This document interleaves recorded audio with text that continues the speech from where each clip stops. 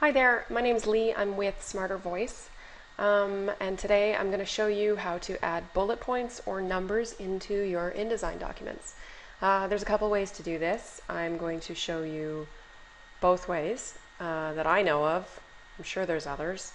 Um, and once you get using these softwares, you tend to find the things that work best in your workflow. I'm going to show you the ones that work the best in my workflow. So what I'm going to do is this whole section here I want to turn into um, bulleted points. So I'm just going to select them all. And one of the ways to do this, the fast, really quick way to do this, is to come up here and there's this little um, button up here that's called bullets and I just hit that and it turns it all into bulleted points. That's pretty simple. So what about numbers? Well, I can take all of that and then I can turn it into numbers because the number palette is right underneath that one and now it's all numbers. But I'm going to show you the way that I do it so that I can apply it throughout my document so I don't always have to be going back up here and checking um, what type of leading I used or uh, you know how I lined this all up.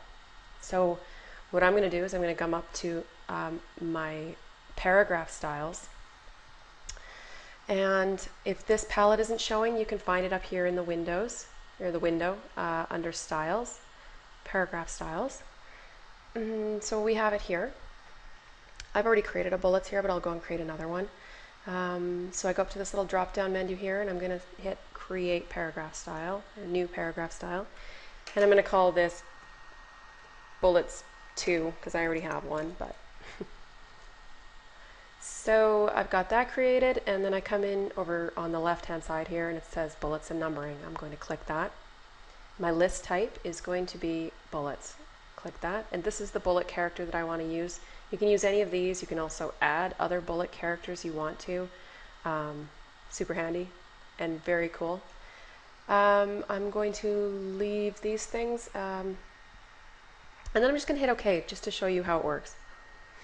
So this is all selected now and I need to apply my bullets. So I go ahead and I click that. Now you can see what happened is anything that was on a second line, it didn't apply um, the, the spacing.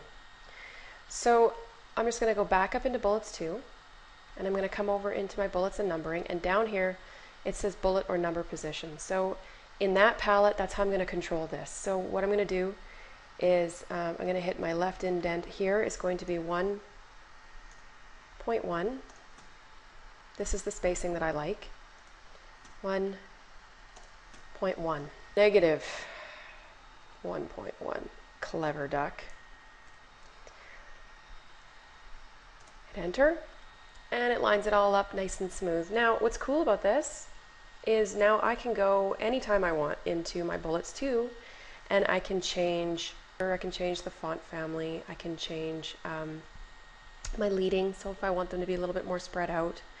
And that applies through my entire document at any point that I have turned anything into bullets 2.